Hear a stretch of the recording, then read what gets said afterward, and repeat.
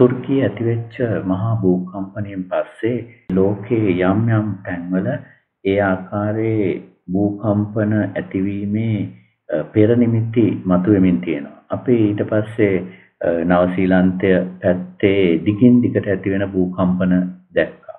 ඊට පස්සේ දින කිහිපයකට කලින් ලංකාව ආසන්නයේ ලංකාවට දකුණෙන් මුහුදේ යම් භූකම්පන සිදු වුණා. අද රාත්‍රියේ ඉන්දුනීසියාවේ තරමක් ප්‍රබල රික්ටර් මාපාංක 7ක් ආසන්න 7කට ආසන්න ප්‍රමාණයේ භූකම්පන සිද්ධ වෙලා තියෙනවා. මේ මේ සිදුවෙන යම් යම් භූකම්පන අවදානම් අතර ඉන්දියාවේ ඇතිවෙන භූකම්පනයක් ගැන පහුගිය කාලේ අනාවකි පළ වුණා. මම මේ අද කියන්න හදන්නේ ඒක ගැන නෙමෙයි. ඊට වඩා අති ප්‍රබල භූකම්පනයක් ඇතිවීමේ අවදානමක් ගැන යම් අනතුරු ඇඟවීම් කරලා තියෙනවා. මේ ඇමරිකාවට ආසන්නේ ඇමරිකා උතුරු ඇමරිකා සහ පැසිෆික් භූතල අතර මුහුද අභ්‍යන්තරයේ පැසිෆික් මුහුද අභ්‍යන්තරයේ සිදුරකින් හදිස්සි ඇතිවෙච්ච සිදුරකින් නිකුත් වෙන අති විශාල වායු ධාරාවක් හොයාගන්න. හැබැයි මේ හොයා ගැනීම ළඟදී නෙවෙයි කරන්නේ. 2015ට ආසන්න කාලෙදී තමයි මේ හොයා ගැනීම කරන්නේ. හැබැයි මේ හොයා ගැනීම අහම්බෙන් සිද්ධ වෙන දෙයක්. යම් මේ පාරිසරික තත්ත්වයන් පිළිබඳ යම් සොයා බැලීමක් කරන යාත්‍රාවක සෝනාර් යන්ත්‍රයකට යම් මුහුදෙන් මුහුදු අභ්‍යන්තරයෙන් නිකුත් වෙන වායු බුබුලු ටිකක් ගැන යම් ඉඟියක් හම්බ වෙනවා.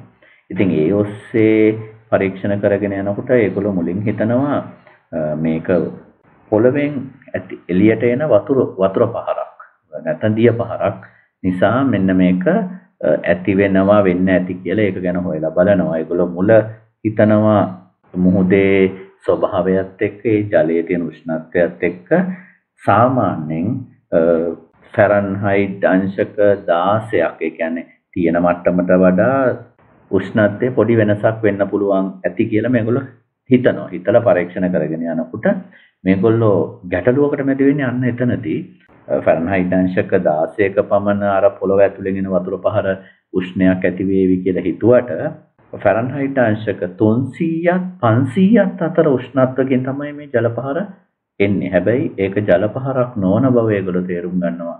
එතන තියෙන මීතේන් වායුව සහ පොළව අභ්‍යන්තරයේ තියෙන මේ ලාවා වලට සමාන යම් ඉන්ධන වර්ගයක් තමයි මෙතනදී නිකුත් වෙන්නේ. එතකොට මේක දැන් තේරුම් ගන්නවා මේගොල්ලෝ මේගොල්ලෝ හිතපු ප්‍රමාණයට වඩා බොහොම බරපතල කාරණාවක් මේක. ඒ එක්කම මේ සිදුර සැලකිය මට්ට සැලකිය යුතු මට්ටමේ සිදුරක්. කියන්නේ චූටි සිදුරක් නෙවෙයි. ඒකම දැන් මේගොල්ලෝ විශ්වාස කරනවා මේ පරීක්ෂණ කණ්ඩායම විශ්වාස කරනවා දැන් ඒගොල්ලෝ හොයාගත්ත එකයිනේ. හැබැයි මේ අවට මේක උතුරු ඇමරිකානු හා පැසිෆික් කියන භූතල දෙක අතරට මැදි වෙච්ච කොටසක්. එතකොට මෙතන යම් කලාපයක මේ විදියට තියෙන්න පුළුවන් කියන එක මේ පරීක්ෂණ කණ්ඩායම හිතනවා. දැන් මතුවෙන ගැටලුව තමයි මේ සිදුර හම්බ වෙන්නේ ඔරිගන් වෙරළට සැතපුම් 50ක් පමණ ආසන්නයෙන්. එතකොට දැන් මේක හරහා මේ සිදුර හරහා පිට වෙන මීතේන් වායුව සහ මේ ද්‍රව මේ ලික්විඩ් එක යම් හේයකින් පිපිරීමකට ලක් වුණොත් ඒ කියන්නේ භූකම්පනයක් ඇති වුණොත් එහෙම නැත්නම් යම් භූතැටි අතර යම් ඝට්ටනයක් ඇති වෙලා එහෙම නැත්නම් මේ වායු තෙරපීමක් ඇති වෙලා මේක පුපුරා යෑමකට ලක් වුණොත් මේ ඇතිවෙන කම්පනය එහෙම නැත්නම් භූකම්පනය හරහා ඇතිවෙන සුනාමි තත්ත්වය අති දරුණු වෙන්න පුළුවන් කියලා ඒ අය තක්සේරුවක් කරනවා. මේ භූකම්පනය රික්ටර් මාපාංක 9ක් තරම් ප්‍රබල වෙන්න පුළුවන් කියලා හිතනවා. එතකොට මේ හරහා ඇතිවෙන විනාශය වර්ග සැතපුම් ලක්ෂ ගණනක් වේවි කියලා ඒගොල්ලෝ හිතනවා. එතකොට ඒ කියන්නේ මේක ඇමරිකාවට ඉතා විශාල හානියක් කරන්න පුළුවන් කම්පනයක් කියන එක තමයි තක්සේරු කරන්නේ. ඒ විතරකුත් නෙවෙයි. මේ කම්පනය ඇති වුණොත් ඒක 2010 හයිටියේ ඇතිවෙච්ච භූකම්පනයට වඩා විශාල වේවි කියලා හිතනවා. 2011 ජපානයේ ඇතිවෙච්ච භූකම්පනයට වඩා විශාල වේවි කියලා හිතනවා. ඇමරිකානු ඉතිහාසයේ 1964 ඇලස්කාවේ වෙච්ච භූකම්පනයට වඩා මේක ප්‍රබල වෙන්න පුළුවන් කියලා හිතනවා. ඒකම 1960 චිලියේ චිලි රාජ්‍ය ඇතිවෙච්ච භූකම්පනයට සමාන වෙන්න පුළුවන් කියලා හිතනවා.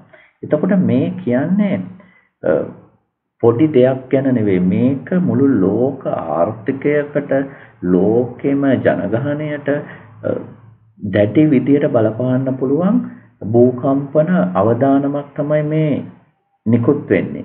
එතකොට මේකද මේ එක දිගට එක දිගට මේ භූ තැටිවල යම් යම් වෙනස්කම් සිද්ධ වෙමින් පවතිනවා. මේවා යම් යම් කම්පන ඇති වෙනවා, ප්‍රසාරණය වෙනවා, ඈත්වීම් වෙන්න හදනවා. ඊට පස්සේ අපි දන්නවා ඇමරිකා අප්‍රිකානු තැටියේ යම් දුරස් වීමක් වෙන්න හදනවා. මේ ඔක්කොම අතර බැරි වෙලාවත් මෙන්න මේ කියන පිපිරීම එහෙම නැත්නම් භූකම්පනය සිද්ධ වුණොත් ඒක මිනිස් ඉතිහාසයේ වෙන දැවැන්තම භූකම්පනය බවට පත්වීමේ අවදානමක් තියෙනවා.